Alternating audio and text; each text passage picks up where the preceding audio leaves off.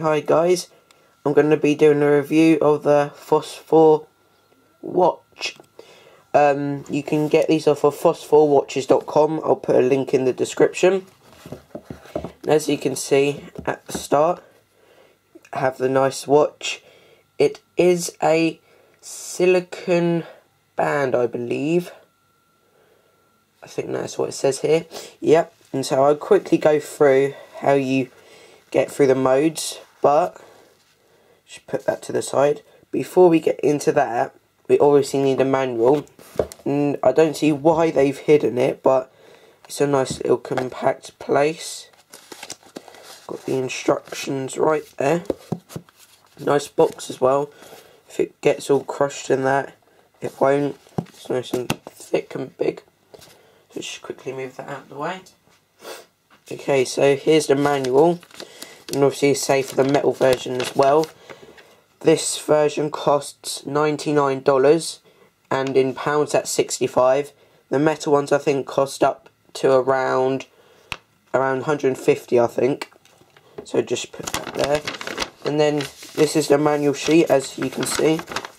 There's a picture of I think the metal one.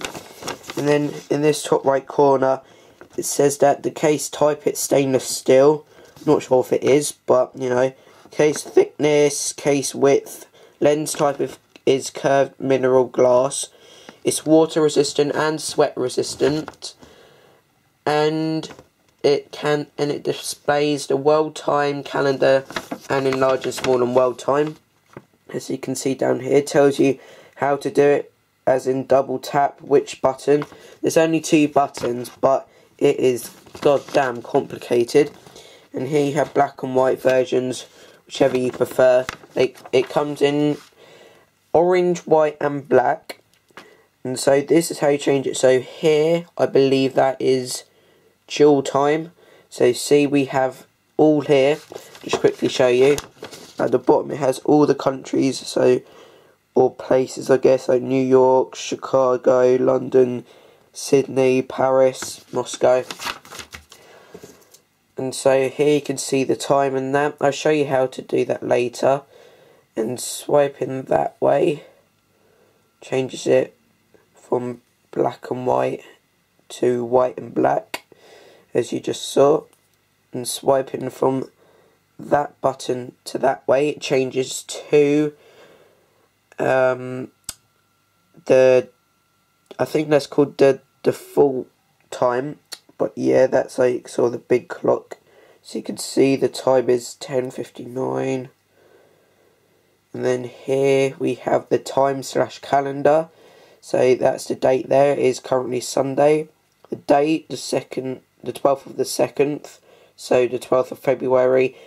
And the time is basically 11. And so, yep, that changes when it gets to an hour. And then here we just have big time. So, you know, just 11 on the dot. Small time, I don't see what the purposes of these are, but, you know, if you want it smaller, then have it smaller. And then back to London time. And you can switch this, I think, by, I'm not sure, double tapping. I think so. Well, it, it's really comp. Yeah, see, there you go. Double tap that one, and then just keep on pressing this one to go through all the country times like on the display dual time. So yeah, that is a really nice watch. It's really soft. It, I think it is silicon. It was says on this piece of paper here. Battery case here. When you have it, when you have it on your wrist, you don't particularly feel that. It's really nice. It can fit right on your wrist. It, it it's not one of those watches that annoys like gets irritant. It's actually a really soft band to wear. And so, yeah, that was the watch. That is a really nice watch. Um, it, it's obviously the e-ink display, so that's it, it's really nice. Um, not much else to say apart from just showing you this little square here quickly. You can see the dual time which is which and it tells you what to do to get to that.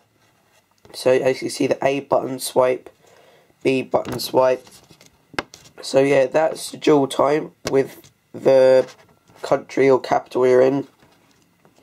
Time and calendar, Monday, big time, small time, and world time. Don't see why they have so many times on, but it's nice. So, that is my little review on the Phosphor um, e-ink display watch. I hope you guys enjoyed it. Uh, please stay tuned for more videos that I'll do and please give this a like. So and yeah, see you later guys.